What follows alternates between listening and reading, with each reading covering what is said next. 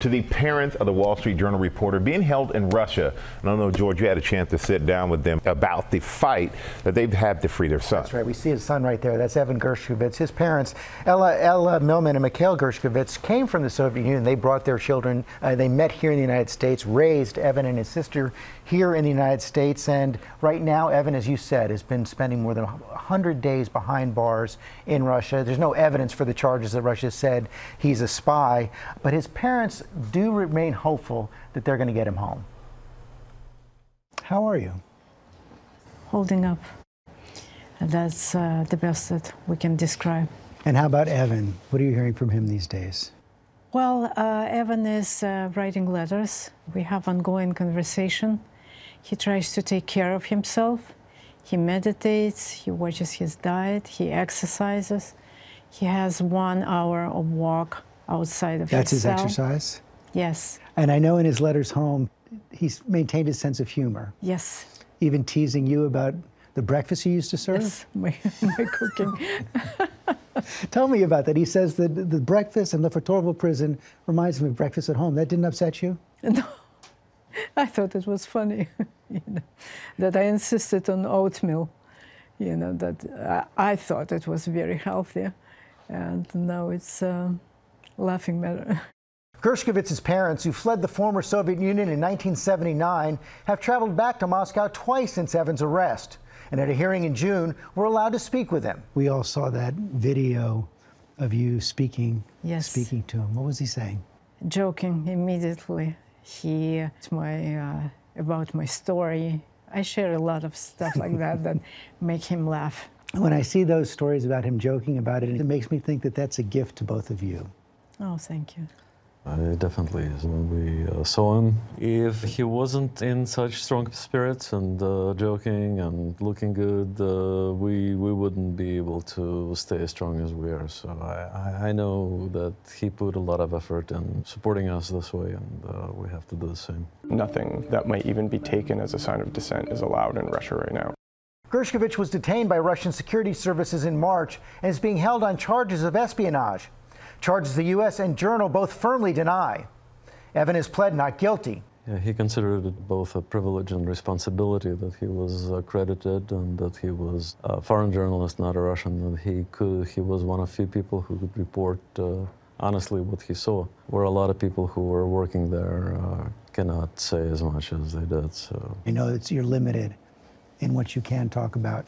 Uh, but when you spoke with President Biden, are you confident that the United States is doing everything it can, the government? That's the only thing that we can uh, rely on and be hopeful. President Biden spoke to us and gave us a promise to do whatever it takes. He talked to us as a, as a parent, and he told us he understands our pain.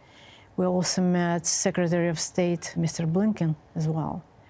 He showed us his card with the names of all uh, wrongfully detained Americans around the world.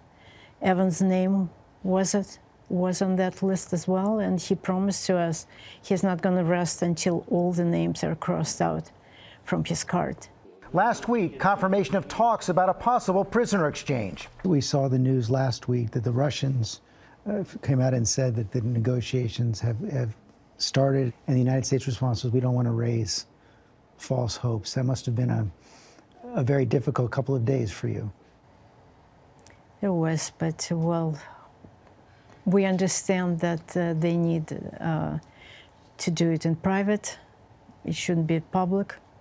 We don't know much about it, but we're still, you know, very, very optimistic that um, it's going in the right direction.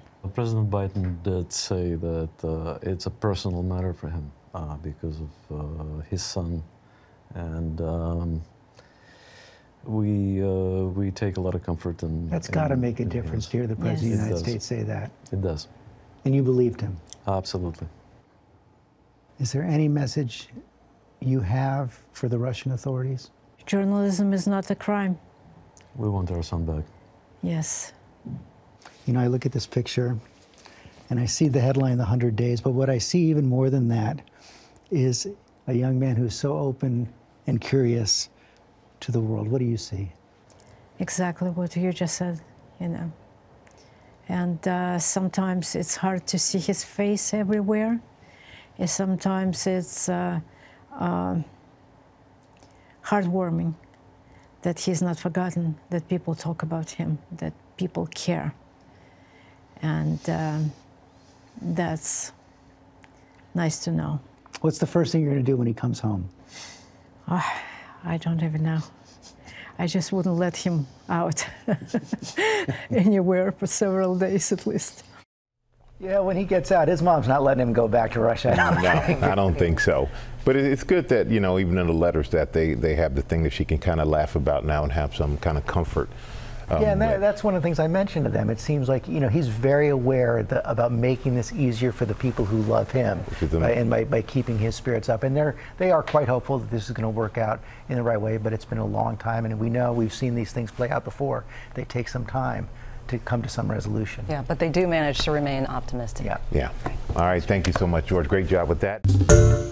Hi, everyone. George Stephanopoulos here. Thanks for checking out the ABC News YouTube channel. If you'd like to get more videos, show highlights, and watch live event coverage, click on the right over here to subscribe to our channel. And don't forget to download the ABC News app for breaking news alerts. Thanks for watching.